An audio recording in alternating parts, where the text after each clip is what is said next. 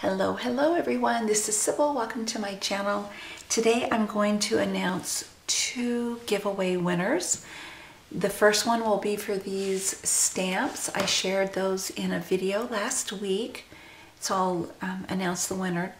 And then the other one is for my Stash Bash giveaway, and I think I shared that video in April and said when it was safe for my husband to go to the post office, he would um, take, you know, those items to the post office and mail them, and that in the meantime, I would be adding items to that Stash Bash giveaway. Well, I've done that, and I'm going to share with you some of the items that I've included, that I've added since that video. Some of them are going to be a surprise, so when the winner you know, shares it or opens it up, she doesn't have to share it in a video, but when she opens it up, she'll have some fun surprises in there waiting for her.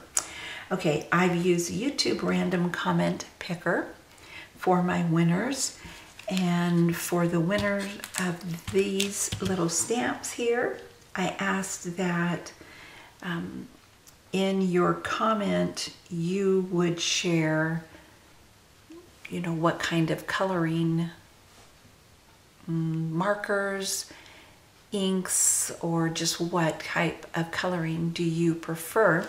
And so I took a picture. It's kind of blurry, but you can see the winner is Annie Creates. Congratulations, Annie. And she says, Sybil, these truly are difficult times, sending prayers of comfort and healing to you and your husband. I love the way that you color and your stamps are adorable. I just started coloring and use Zig markers. Happy anniversary, hugs my beautiful friend. Well, Annie, you have one. So if you could leave um, what, I, what I'm going to do for both of my winners down in the description box, please open that up and I will have my email.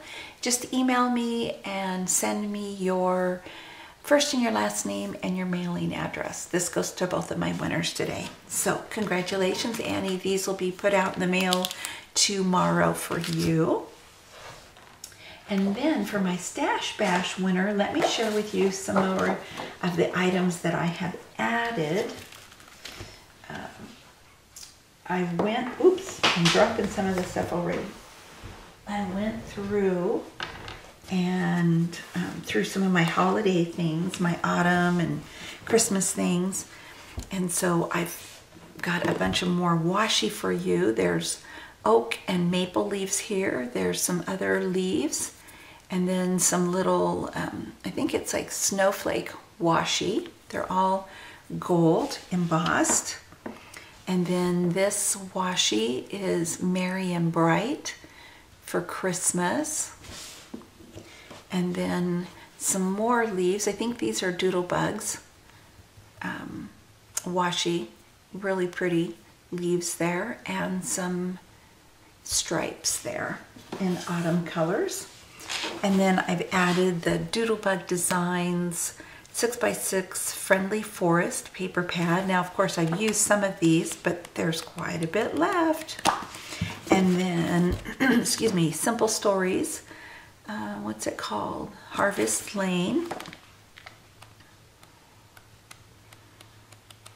So I've added those into this box. I've added a couple of stamp sets. Let's Flamingo. And then this Tim Holtz stamp set, never been used. I don't have the packaging, so this is how it will arrive to you. But you see the British flag, the um, Eiffel Tower, the British soldier there, postage stamps, a filigree, um, filigree, that's not the right word, is it? I can't think of it right now. It says postcard, so like I said, these are brand new, never been inked up. And I mentioned I was going to add some more dies.